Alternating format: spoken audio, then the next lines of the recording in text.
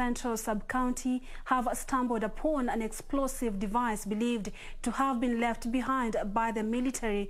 The rusty bomb was found by children from uh, who were herding goats in the area about one kilometer from their home.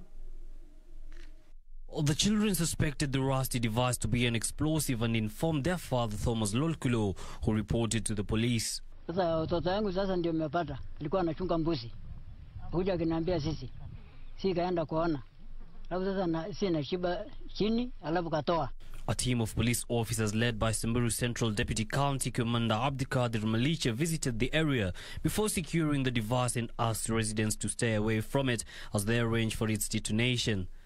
Uh, it is an old mortar bomb, and uh, we have secured it, and the process of uh, detonating is uh, being arranged.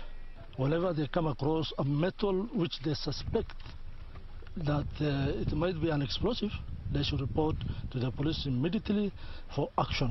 Malicha noted that several incidences of explosives being discovered in the area have been reported, asking locals to be vigilant since there may be more explosives laying underground. Yusuf Farah, Channel 1 News.